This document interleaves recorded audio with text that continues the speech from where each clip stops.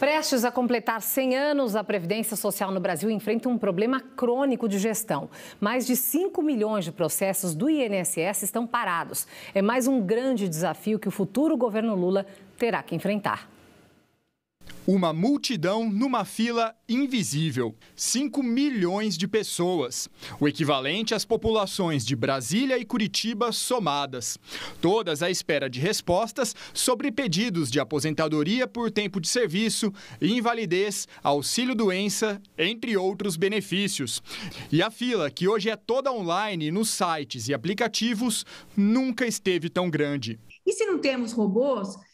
Eh, suficientes para analisar, temos que ter pessoas treinadas para isso, né? Esse governo ele trouxe gente de outros uh, institutos, né, para suprir a carência de pessoas que tinha no INSS para fazer a análise.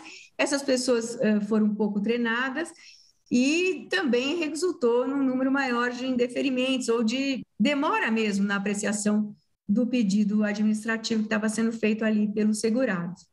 Para especialistas em previdência social, esse é um problema com várias causas, reflexo de má gestão. Além da falta de pessoal e demora na reposição de funcionários, há também dificuldades no cruzamento de dados. E quem mais sofre é quem está na fila. E o baque no orçamento com o pagamento dos retroativos será mais um problema que o novo governo terá que enfrentar. Esse governo, ele foi, ele ficou conhecido como o governo que acabou represando mais benefícios para jogando, jogando sempre para o exercício financeiro para frente, né? Então, isso pode até ter sido uma tática é, orçamentária, porque é, se eu indefiro benefícios, então eu jogo o problema lá para o ano que vem.